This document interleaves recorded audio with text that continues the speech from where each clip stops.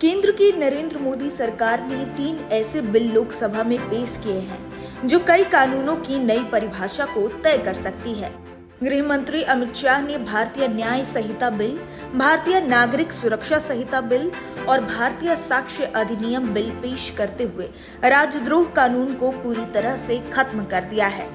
अमित शाह ने कहा है, केंद्र की नरेंद्र मोदी सरकार ने तीन ऐसे बिल लोकसभा में पेश किए हैं जो कई कानूनों की नई परिभाषा को तय कर सकती है। भारतीय गृह मंत्री अमित शाह ने भारतीय न्याय संहिता बिल, भारतीय नागरिक सुरक्षा संहिता बिल और भारतीय साक्ष्य अधिनियम बिल पेश करते हुए राजद्रोह कानून को पूरी तरह से खत्म कर दिया है। कानून में अमित शाह ने कहा है, केंद्र की नरेंद्र मोदी सरकार ने तीन ऐसे बिल लोकसभा में पेश किए हैं। जो कई कानूनों की नई परिभाषा को तय कर सकती है। भारतीय गृह मंत्री अमित शाह ने भारतीय न्याय संहिता बिल, भारतीय नागरिक सुरक्षा संहिता बिल और भारतीय साक्ष्य अधिनियम बिल पेश करते हुए राजद्रोह कानून को पूरी तरह से खत्म कर दिया है। कानून में अमित शाह ने कहा है कि इन विधायकों से आपराधिक दंड संहिता में परिवर्तन होगा।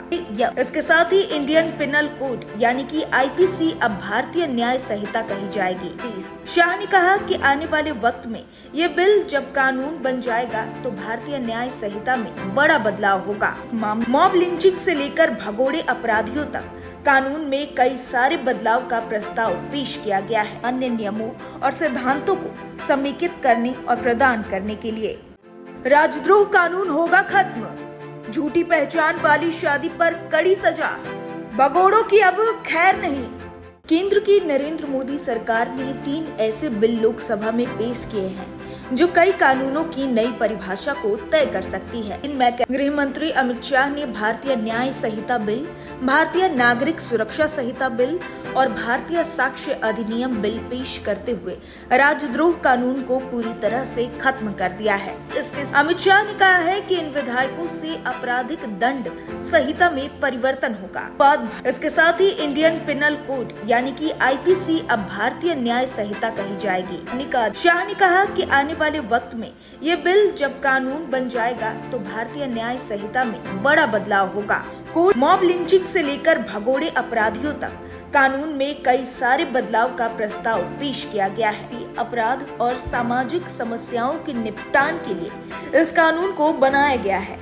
शादी, रोज़गार, पदोन्नति के झूठे वादे और गलत पहचान बताकर जो यौन संबंध बनाते थे, उसको अपराध की श्रेणी में पहली बार नरेंद्र मोदी सरकार ला रही है। गैंगरेप के सभी मामलों में 20 साल की सजा या आजीवन कारावास की सजा का प्रावधान किया है, जो आज के समय में नहीं है।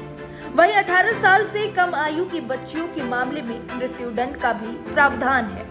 बता दें कि अब भगोड़ों को भी सजा मिलेगी। दरअसल सेशन कोर्ट के जज पूरी प्रक्रिया के बाद जिसको भगोड़ा घोषित करेंगे, उसकी अनुपस्थिति में ट्रायल कोर्ट होगा और उसे सजा भी दी जाएगी।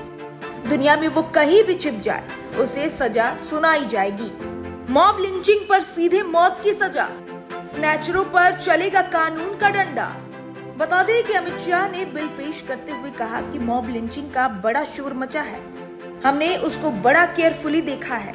और मॉब लिंचिंग के लिए भी सात साल की सजा या आजीवन कारावास और मृत्यु दंड का प्रावधान इस कानून में किया गया है। वही स्नैचिंग के लिए भी चाहे महिलाओं की चेन हो या कुछ और हो, कोई प्रावधान नहीं था, जिसकी वजह से बहुत सारे लोग छिप जाते थे, क्योंकि वो चोरी में नहीं गिना जाता था।